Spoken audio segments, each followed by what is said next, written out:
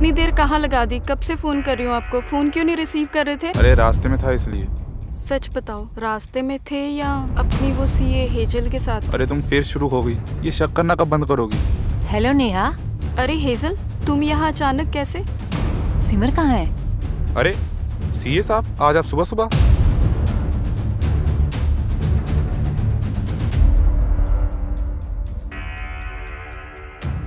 जब तक तुम उसकी ज़िंदगी में हो ना वो मेरी तरफ़ तो क्या किसी की तरफ़ ना देखी।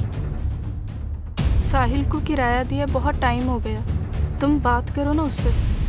मुझे क्या ही कहना तुम कह दो रेंट दे देगा। रेंट का कुछ अरेंज हुआ? बस भाभी अरेंज कर रहा हूँ जल्दी हो जाएगा। रेंट दे दो या फिर दो दिन में घर खाली करो। ठीक है।